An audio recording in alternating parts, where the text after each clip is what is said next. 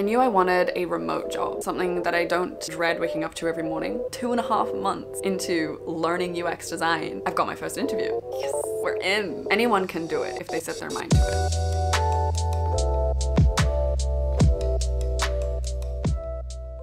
Hi.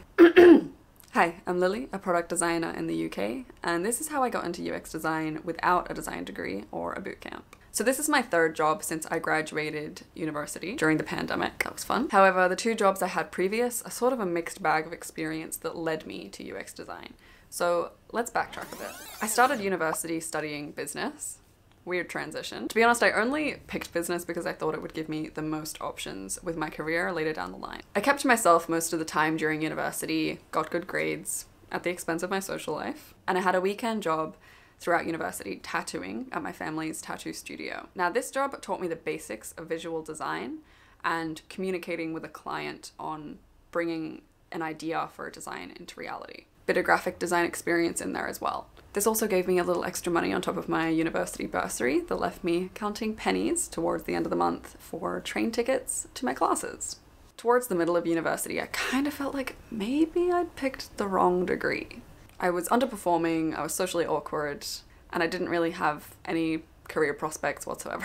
I kind of felt like a deer in the headlights of life. I felt like there was just so much more to learn and so much more to grow before I was just out there by myself in the big bad world. However, in my fourth and final year, I started to really get into the groove of things. I was writing a really good essay, I was hitting the best marks on my record, and I was comfortable in what I was doing. This was still without any career prospects or any idea at all of what I was going to do in six months when I graduated. There was this annoying voice in my head saying, I finally know what I'm doing here as soon as me being here is coming to an end. Anyway, I graduated my business degree in my bedroom that I shared with my sister via an email in lockdown saying that I got a first class honours. I was really, really proud. Then came a whole year of failed job interviews. Now, I'm just gonna blame that on COVID. That was nothing to do with me. After a year of that, I finally landed a graduate job in marketing an hour's commute away from me. I got this job via LinkedIn. So I moved out of my parents' place into the city by myself and I made my first big girl paycheck. I can't really remember what I spent it on, but I was live, laugh, living life. I stayed at this job one year, almost to the day.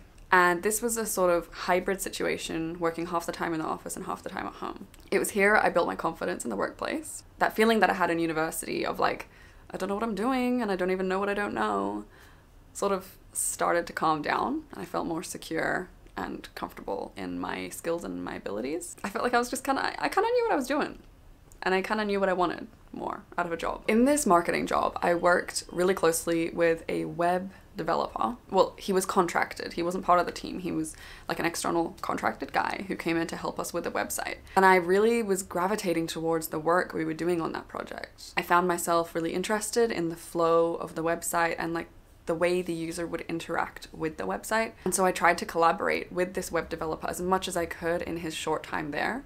I tried to pick up his jargon, his lingo, his language. I tried to understand what he was all about. And this is sort of really where it all started my career pivot towards UX.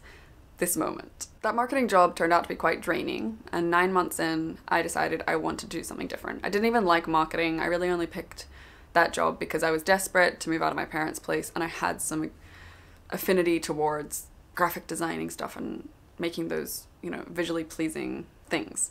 and I was starting to learn what office politics are, and that just wasn't my jam. I knew I needed to do something different. In this marketing job, it was around the time that I actually started this channel. I wanted to start documenting my work life. I feel like it would be something really nice to look back on in like my later life and my first real big girl job in my 20s. I really love looking back at those videos, even though you can just see, if you look back at those vlogs of me working at my marketing job, I was just soulless. The soul was being sucked out of my body. Tomorrow I'm working from home, so anything is possible. I was dead inside. Okay, that's an exaggeration. Um, that job was a stepping stone to where I am now, and I appreciate all the blessings that I have. Blah blah blah. I hated that job. but yeah, I'm really glad that I put effort into starting this YouTube channel as well. I don't know how, honestly, that I have gotten this far. Videos every week while working a 9 to 5 job. I did it somehow. Anyway, I knew I needed to do something different. I knew I wanted a remote job, something that I don't dread waking up to every morning, something that allows me to have a better work life balance than what I currently had, and something that's based in like creative creativity. I heard about the lifestyles of people who worked in tech. They have really good work life balance. They get paid really well and there's free food. So I was sold. The thing that combined that creative element I liked in tech was UX design. UX design seemed to fit the bill. I put all my effort into learning UX design. I had a lot of work to do. The first step I took was to fill in the gaps on my CV. So I'm completely self-taught. My method to this was I would look up UX designer, app designer, web designer roles on places like LinkedIn or Indeed, and I'd look at the job description and I'd see the most common required skills, things that you needed to know to apply for that job. That was like the cheat sheet. And the most common ones, the most reoccurring ones that would come up would be like able to use Figma, able to use Adobe The ability to make a wireframe and convert it into a prototype, all this kind of thing. I looked up tutorials and I just taught myself. After work at the marketing place, I would sit down back on my laptop from like 5 till 10 p.m. and just teach myself. So I'd come up with like a design in my head and try to make that a reality in Figma, prototype it all up. And eventually, once I'd done this a couple times, I had some semblance of a very basic portfolio. I actually wrote in my diary, I will be a UX designer in six months. And I know this was very ambitious. Spoiler alert we got there. But because I had that deadline, not only to learn everything I had to learn, but to have a portfolio, to send the portfolio away, apply to jobs, get an interview, and get a job, forced me to work really, really hard at this goal. So I would journal in detail about my new job, like all, everything about it. I would visualize it. I would say, my job has these kinds of colleagues to work with. I'm on this much pay. This is what I do in my job on the daily. My commute time, blah, blah, blah. No word of a lie everything I wrote down came true. And this vision, this fantasy job in the future was the only thing that kept me going at my marketing job. Those last few months there were were rough.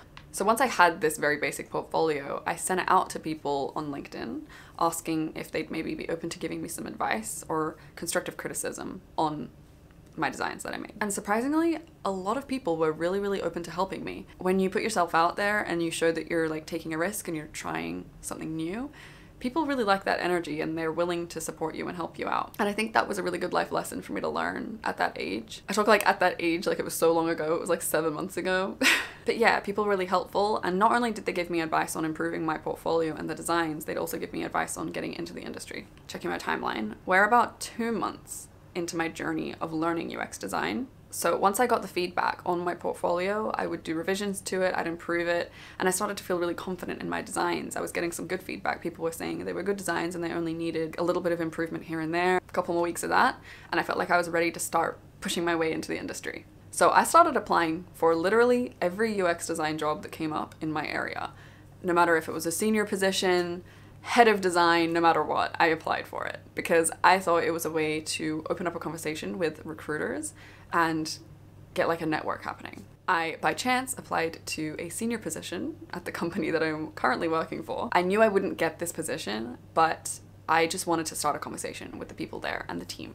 So I found this company on LinkedIn, and after I'd applied, I went back on LinkedIn, went to the People tab, and found the head of UX design, and I messaged him following up saying that I had applied to this role. I'd, I'd really love to have a conversation about what it's like to work at the company. I want to know more about the team there and if there's any places where I'd fit in. I was kind of insinuating that I knew this role wasn't the one for me. It was a senior position and I didn't have any experience but I was hinting to him that, you know, if there was anything going, literally anything, help me help me get my foot in the door. So of course he replied back that my skills and experience weren't um, suitable for the senior role, but he'd be open to meeting me for coffee to give me some advice on my application and my portfolio and just have like a discussion with me. And I was like, yes, we're in. All I thought the conversation was gonna be was advice. I didn't think I was actually gonna get a job. So this random LinkedIn profile turned out to be the biggest advocate in me getting a job in this company and the best boss slash manager that I've ever had. I did meet him for coffee and we discussed my application and my portfolio and he gave me some really good advice and insights onto improving it and where I was doing good, there's room for improvement. He also gave me some insights into what it's like working in UX design and that there might be some opportunities with the company in future. We said our farewells. I went back home he messaged me about a week later saying that they might have a role for me and he sent my details to HR. I was just blown away.